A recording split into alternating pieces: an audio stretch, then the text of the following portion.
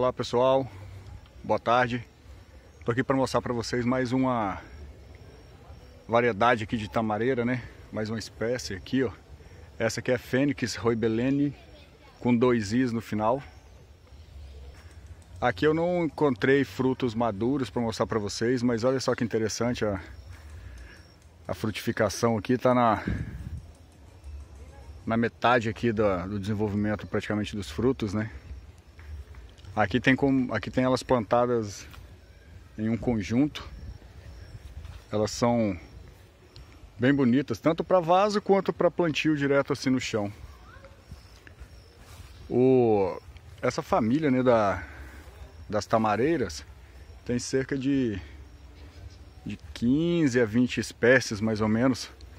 Essa daqui é mais uma. Tem a Fênix dactilífera, né, que é aquela que a gente normalmente consome os frutos. A outra que eu mostrei mais recentemente aí é a Fênix canariensis, que é uma outra também que os frutos dá para ser consumido, porém é bem pouca polpa, então não tem valor comercial para esse tipo de, de fim né, do consumo. Já essa daqui é uma outra também do sudeste, essa aqui é do sudeste asiático.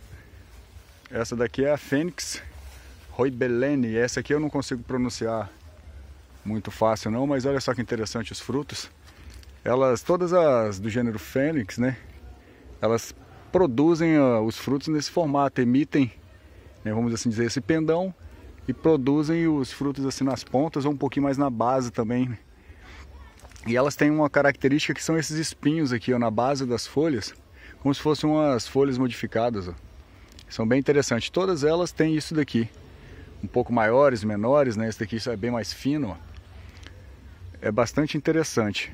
Eu procurei aqui alguma com, com os frutos maduros aqui para mostrar para vocês, porém não encontrei. Tá? Essas aqui já estão bem desenvolvidas, plantadas diretamente no chão. Essas aqui já devem ter uns uns 8, 10 anos aqui essas essas palmeiras. Tá vendo? Ó, são bastante interessantes. E frutificam bastante também, né? Os animais gostam. Então assim, além do seu valor ornamental, né? Paisagístico.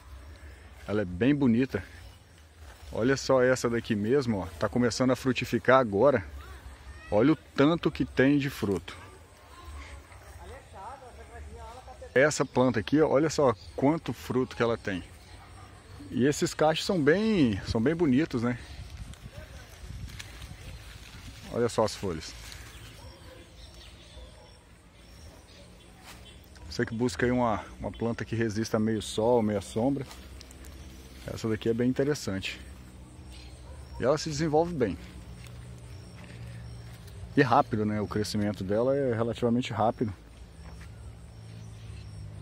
Na fase inicial ela demora um pouquinho, né? Mas depois que ela emite, você consegue ver o tronco dela já saindo assim mesmo do solo, do vaso, ela costuma desenvolver bem mais rápido. Bom? Aqui é mais uma uma espécie aí para vocês. Assim que eu encontrar alguma outra desse gênero Fênix, eu vou mostrar para vocês também. Beleza? Então até agora a gente já tem três aí. A Fênix dactilífera, a Fênix canariensis e essa Fênix roibelene aqui. Beleza? Caso vocês tenham alguma dúvida, como eu sempre digo aí no final dos vídeos, Deixa nos comentários aí, compartilha com quem gosta, né? Com quem às vezes tem uma dificuldade para poder identificar a espécie aí, pelas olhando assim, saber que planta é. Compartilha aí que a gente vai aprendendo junto. Beleza? Um abraço. E até a próxima aí.